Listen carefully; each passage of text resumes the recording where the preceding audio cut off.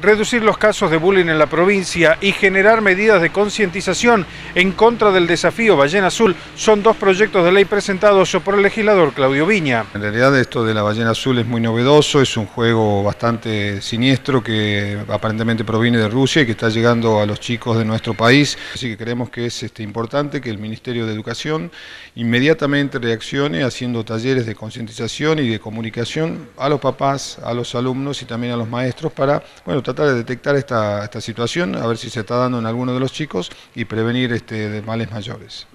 Y en torno a lo que es la temática del bullying, también tiene proyectos presentados. Sí, sí, justamente muchos de los chicos que son víctimas de bullying son los más vulnerables para el caso de la ballena azul, porque son chicos que están aislados, que no encuentran contención en su entorno familiar ni escolar, y hay un proyecto de más de un año de antigüedad, este, sin dictamen todavía en la Comisión de Educación, que hemos reactivado ahora, agregándole la posibilidad de que se contrate o se instale el sistema Kiva, que es un sistema finlandés que ha demostrado casi un 90% de efectividad en otros países, no solamente en el país de origen que es Finlandia, y que se trae como un proceso este, de franquicia o enlatado, donde expertos de ese lugar vienen a este, explicar o a concientizar los métodos de tratamiento. La idea general del procedimiento KIVA eh, contra el bullying eh, trabaja sobre los espectadores, es decir, sobre el entorno que tiene el agresor para completar su acto.